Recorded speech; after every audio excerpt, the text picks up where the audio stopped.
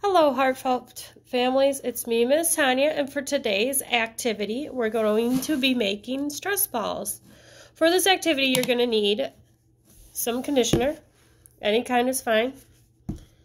A half of measuring cup.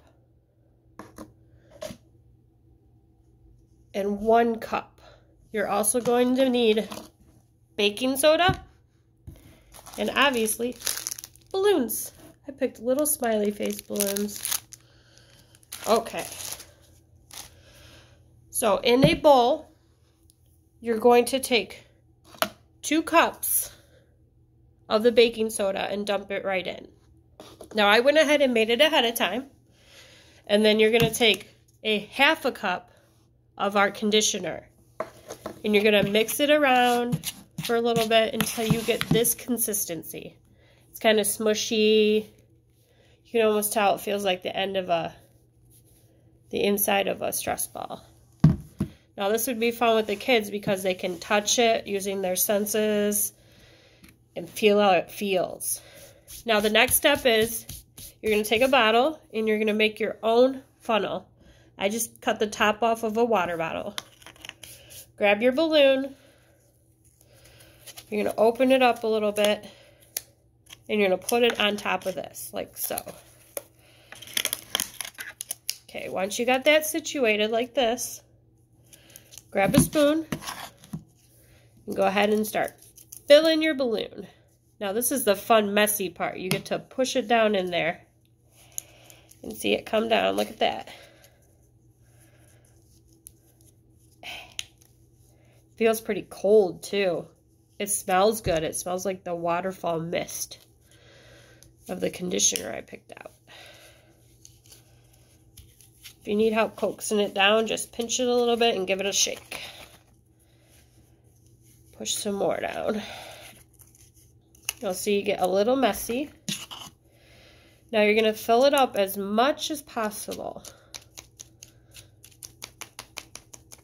You can, and if you don't want to get your fingers dirty, you can always scrape it and then push it down with the end of the spoon. Or you can find something else to push it down with. Maybe the popsicle sticks. Let's see if I have one. Yeah, we have a popsicle stick here. We'll just go ahead and push it right on down.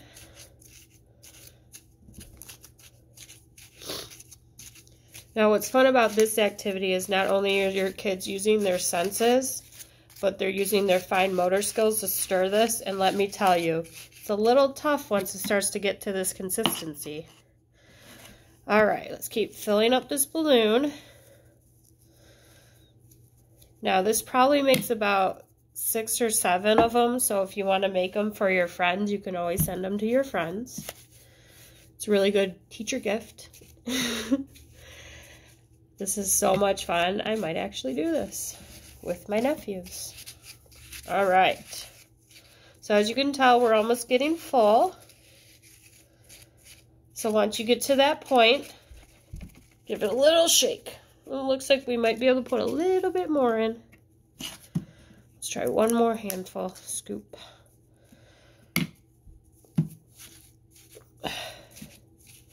Okay, now we got most of that full.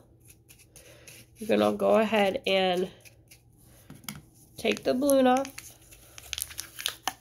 Now this is a tricky part. This is where the parents probably have to come in and do it. Give it a little shake and then take the balloon and tie it shut. And voila, you have a stress ball. Now, if you don't want to use the smiley face balloons, you can get regular plain balloons and you can use um, markers on it and draw pictures. Um, I suggest using the whiteboard markers because if you use permanent marker, it, after a while it'll wipe off. I hope you guys enjoyed this activity, and I hope you guys enjoy doing it at home.